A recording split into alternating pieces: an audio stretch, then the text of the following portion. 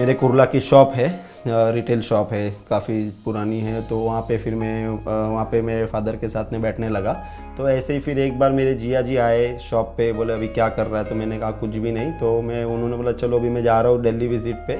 Online websites के साथ में मेरा काम चल रहा है स्टील्स का। तो तेरा अभी इमिटेशन का या ज्वेलरी का प्रेशियस का या नॉन प्रेशियस किसी का भी कुछ सेट होता रहेगा तो अपन देखेंगे। तो मैं फ्लिपकार्ट में गया, या जब उनसे मीटिंग की तो लगा कि बहुत बड़ा बिज़नेस हो सकता है ये।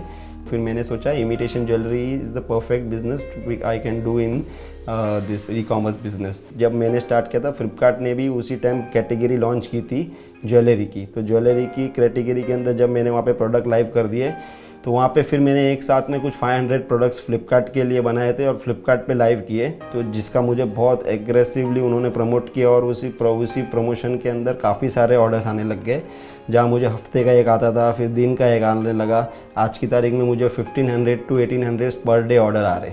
ज्वेलरी के लिए, फिर मैं वेबसाइट देख रहा था, वहाँ मुझे फ्लिपकार्ट दिखा कि Flipkart have just launch jewellery in the category. तो फिर मैंने ज्वेलरी भी फ्लिपकार्ट को अप्रोच किया और उन्होंने भी अच्छे से और जल्दी से मेरे प्रोडक्ट्स उन्होंने सिलेक्ट करके उसको उनके वेबसाइट पर लाइव कर दिया।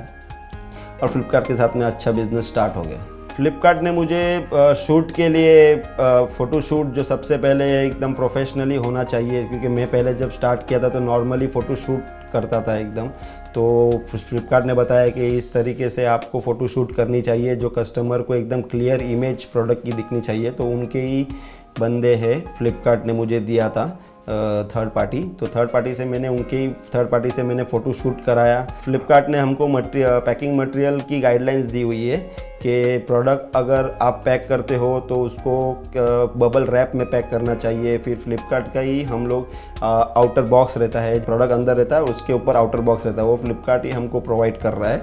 और वही पैकिंग मटेरियल के अंदर उसका उसको भेजते हैं हम ताकि कस्टमर को कोई भी डिफेक्टिव प्रोडक्ट नहीं मिले। फ्लिपकार्ट के प्रोडक्ट लाइन के ऊपर मैंने सिर्फ़ एक्सक्लूसिव ओनली फॉर फ्लिपकार्ट ऐसे करके मैंने उनके लिए एक ब्रांड लॉन्च किया था त्रुषि जो सिर्फ़ फ्लिपकार्ट के लिए ही हम लोग उसको बेचते और फ्लिपकार्ट ने ही सजेस्ट किया था कि इसकी प्राइसिंग ये होनी चाहिए, इसका प्रोडक्ट ऐसा होना चाहिए। तो उन्होंने, उनके गाइडलाइंस के हिसाब से वो ब्रांड भी मैंने लॉन्च किया और उसमें भी बहुत अच्छा सेल है। फ्लिपकार्ट का पैनल जो है, हम लोग उस, बहुत ही सिंपल और सिस्टमेटिक है। प्राइसिंग पैनल एकदम अच्छा है इन्वेंट्री पैनल एकदम अच्छा है। फ्लिपकार्ट का बिज़नेस काफ़ी ट्रांसपेरेंट है। जो भी हम लोग ऑर्डर्स शिप करते हैं, जो कस्टमर को एक बार डिलीवर हो जाता है, मान लो आज ऑर्डर आया कस्टमर का, दो दिन बाद कस्टमर को डिलीवर हो जाता है तो उसके सात दिन के अंदर अंदर वो उसका जो भी अमाउंट रहता है, उसी पीरियड के साइकिल में तो उसी पीरियड में समझो हज़ार ऑर्डर के हज़ार ऑर्डर शिफ्ट हुए, वो सात दिन के साइकिल के अंदर तो वो साइकिल का जो भी अमाउंट रहता है, हमारे बैंक के अंदर एन ई फ्लिपकार्ट वाले उसको कर देते हैं। आज की तारीख में जितना भी मेरे ऑर्डर्स है, उसमें 50 परसेंट पार्ट फ्लिपकार्ट का है।